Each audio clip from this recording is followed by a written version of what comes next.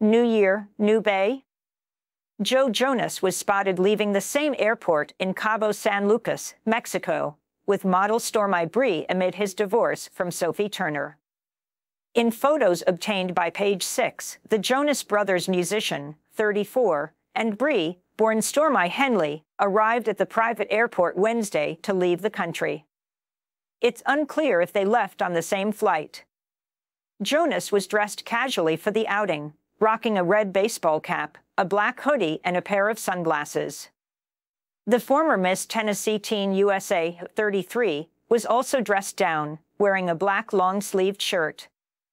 She was also seen carrying a nude backpack as she walked alongside the cake by the ocean singer. Page Six has reached out to reps for both Jonas and Bree for comment, but did not immediately hear back.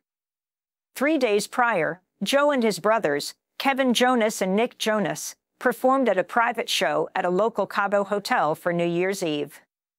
The DNCE frontman's outing comes during his ongoing his divorce from Turner, whom he wed in 2019.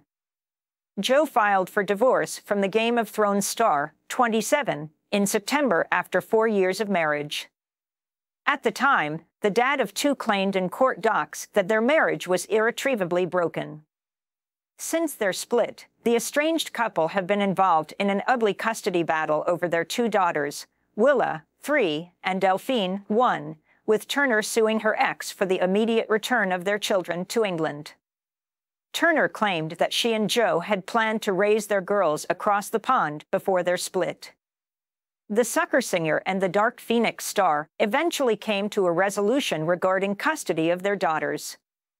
After a productive and successful mediation, we have agreed that the children will spend time equally in loving homes in both the U.S. and the U.K., the pair said in a statement to Page Six in October.